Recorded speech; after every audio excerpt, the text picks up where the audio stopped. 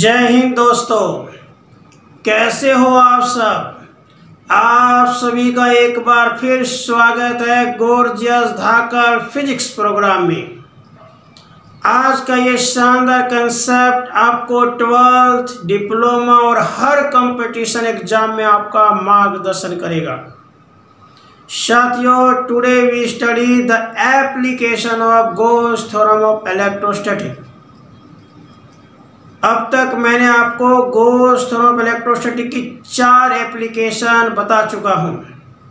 We have studied four application of Gauss theorem electrostatic till first expression for electric intensity due to point charge second expression for electric intensity due to hollow sphere third expression for electric intensity due to solid sphere fourth expression for electric intensity due to straight conductor carrying charge और continuous charge distribution और आज हम करवाने जा रहे हैं आपको fifth application that is expression for electric intensity due to single thin infinite plane sheet of charge साथियों, आपने हमारे परिवेश लेक्चर को ध्यान से सुना होगा।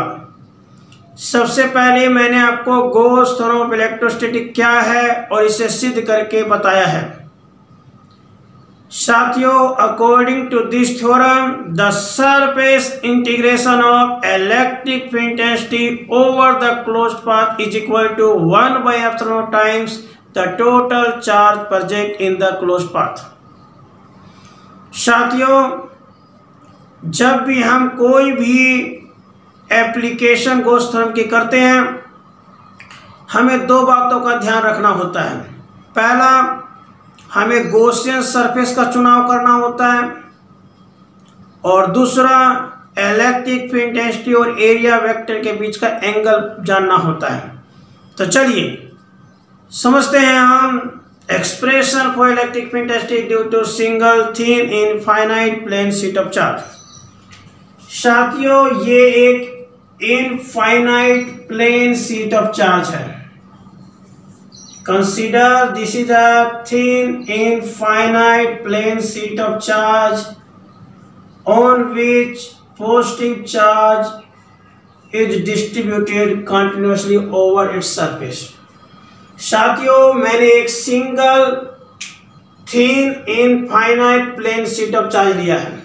सिंगल माने तो एक थीन माने तो पतला इनफाइनाइट माने बहुत ही ज़्यादा दूरी तक plane sheet of charge charge इस पर डिस्ट्रीब्यूट है। तो साथियों, हमारे पास एक पतली सी प्लेन सीट है, जिस पर पॉजिटिव चार्ज डिस्ट्रीब्यूटेड है।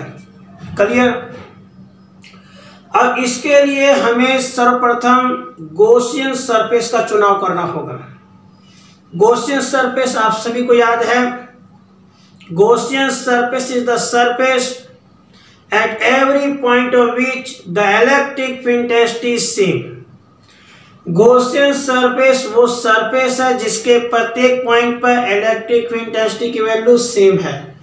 तो बताइए ऐसा कौन सा सरफेस होगा? तो अगर इसके सरफेस की बात करें तो लेफ़्ट साइड में और राइट साइड में यह इलेक्ट्रिक फ़ील्ड उत्पन्न करेगा। पक्की बात है ना? अरे प्लेन सीट है दोस्तों प्लेन सीट है तो लेफ़्ट में और राइट में इसका इलेक्ट्रिक फ़ील्ड ज़्यादा होगा। इसीलिए इसके लिए जो गोशियन सरफेस बनेगा that is cylindrical in shape क्योंकि सिंड्रिकल शेप की जो आकृति है, उसके माध्यम से लेफ़्ट में और राइट में इलेक्ट्रिक फ़ील्ड को आसानी से अज्यूम किया जा सकता है। तो हमने प्लेन सीट ऑफ़ चार्ज के लिए सबसे पहले हमने गोशन सरफेस बनाया। ये गोशन सरफेस कैसा होगा? सिलिंड्रिकल इन शेप कंफर्म दोस्तों? अब हमने यहाँ पर एक स्मॉल एरिया ले लिया और एक यहाँ पे स्मॉल एरिया ले लिया।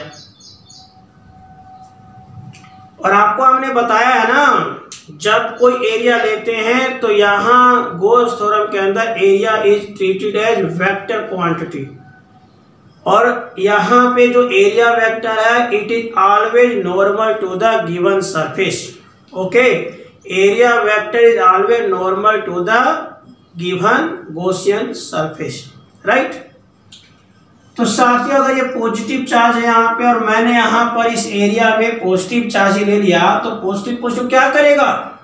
बोलो like charge repel each other तो positive charge will repel this charge तो रिपेल करेगा तो इलेक्ट्रिक फ़ील्ड की डायरेक्शन क्या होगी?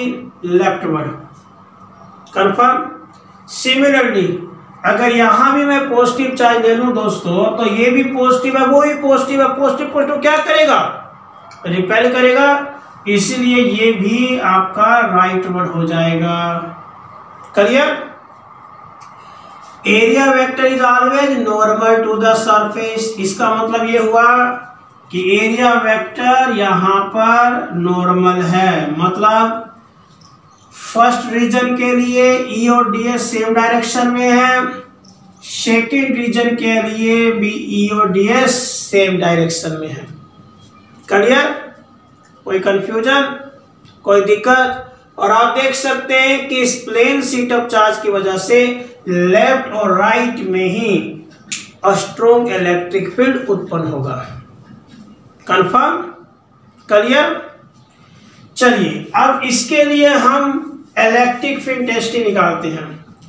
According to Gauss theorem of electrostatic आप सभी को याद है according to Gauss theorem of electrostatic surface integration of electric field density over the closed path is equal to q upon epsilon naught clear according to this theorem surface integration of electric intensity over the close path is equal to Q by epsilon naught तो सबसे पहले हमने left hand side लिया।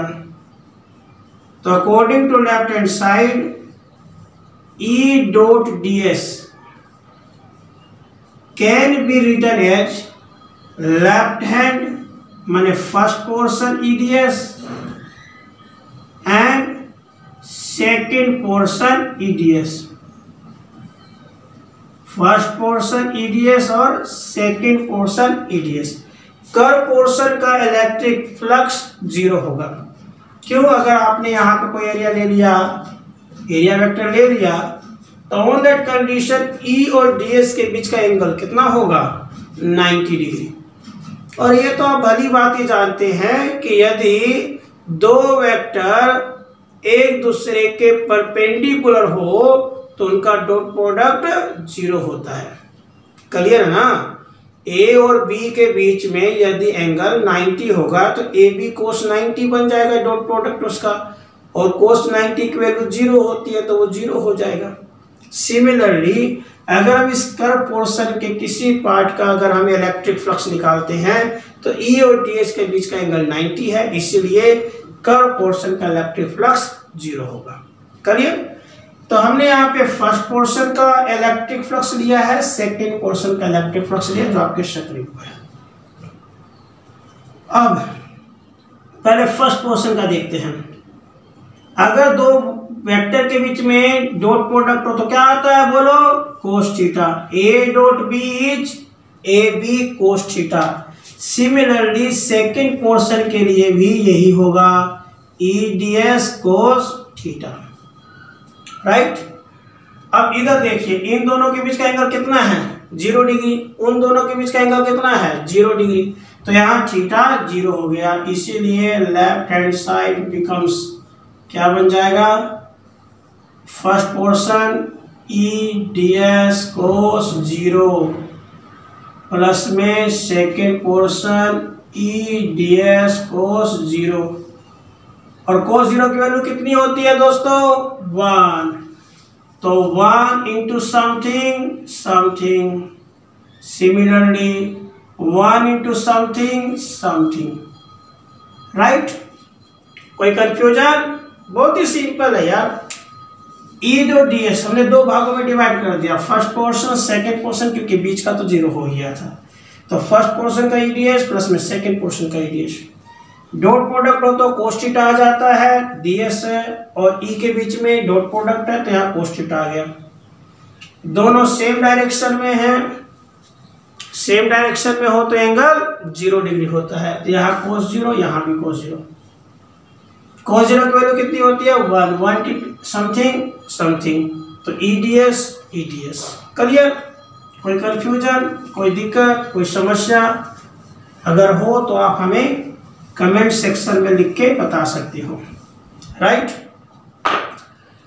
तो Gaussian surface के लिए हर point पे इलेक्ट्रिक डेंसिटी वैल्यू सेम होती है। क्योंकि हर एक पोर्शन पे इलेक्ट्रिक फ़ील्ड की वैल्यू सेम होती है, इसलिए E out taken outside into DS similarly यहाँ भी ई e बाहर निकल जाएगा डीएस और हमने मान लिया कि उसका जो एरिया है, वो कितना है? S total area is S पक्का? S is the total area तो यहाँ पर E S into E S plus E S क्या हो जाएगा? टू ई एस तो लेफ़्ट हैंड साइड आ गया आपका two E S clear left hand side आ जाएगा टू ई एस अब हम राइट हैंड साइड की बात करेंगे। साथ ही यहाँ पे जो चर्चा की जा रही है, वो है charge thin infinite plane sheet के सरफेस पर डिस्ट्रीब्यूट किया गया है। याद है ना? तीन तरह का डिस्ट्रीब्यूशन बताया था मैंने आपको। Linear charge distribution surface charge distribution और volume charge distribution confirm linear charge distribution पे चार्ज डिस्ट्रीब्यूट कहाँ हुआ था? लाइन पर। सरफेस में सरफेस पर। और वॉल्यूम चार्ज डिस्ट्रीब्यूशन में वॉल्यूम के अंदर मतलब बॉडी के अंदर। यहाँ सरफेस के ऊपर है तो सरफेस चार्ज डिस्ट्रीब्यूशन की स्ट्रेंथ किसमें मापी जाती है? सरफेस चार्ज डेंसिटी के रूप में। तो सरफेस चार्ज डेंसिटी हो गया आपका charge upon area. Surface charge density is equal to charge upon area. Then Q is equal to sigma into S. Surface charge density is equal to charge upon area तो charge आ गया sigma into S. Confirm? इसे one मान लीजिए और इसे two मान लीजिए। Right? Then according to Gauss theorem क्या हो जाएगा? E dot D S is equal to Q by epsilon naught है ना? तो ई डॉट डी एस की वैल्यू क्या आई हमारे पास? टू ई एस पक्का? और क्यू की वैल्यू क्या है? Sigma S upon epsilon naught S से एस कैंसिल हो गया। तो two E equal to sigma upon epsilon naught तो ई की वैल्यू आ गई sigma upon two epsilon naught तो दिस आर gorgeous, fantastic ज़बरदस्त question for electric fantastic due to single thin infinite plane sheet of charge. है ना बिल्कुल आसान? मुझे विश्वास है कि आपको ये शानदार एक्सप्रेशन समझ में आ गया होगा। एक बार समराइज कर देते हैं ताकि आपको और आसानी से समझ में आ जाए। देखिए सिंगल लाइन में E dot D S is equal to है क्यू बाय एप्सलॉन नोट पक्की बात। और ई डॉट डी एस निकाला है आपने वो फ़र्स्ट पोर्शन के लिए प्लस में सेकंड पोर्शन के लिए। फ़र्स्ट पोर्शन के लिए क्या है? ई डी एस क्योंकि एंगल ज़ीरो था।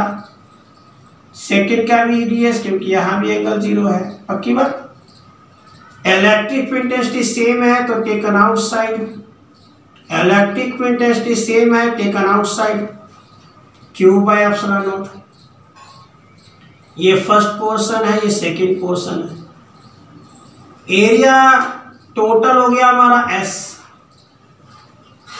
क्यू की वैल्यू होती है surface charge density into area पक्की बात ना? तो टू ई एस बराबर आ गया sigma S upon epsilon naught S two S cancel हो गया। तो ई e की वैल्यू क्या आ जाएगी? सिग्मा अपॉन टू एप्सलॉन तो दिस आर फैंटास्टिक ज़बरदस्त expression for electric fantastic due to single thin infinite plane sheet of charge तो साथियों, बड़े ही धाकड़ तरीके से आपको पाँच एप्लीकेशन गोस्थर्म की बता दी गई। एक और धाकड़ एप्लीकेशन है जो हम आपके साथ शेयर करेंगे।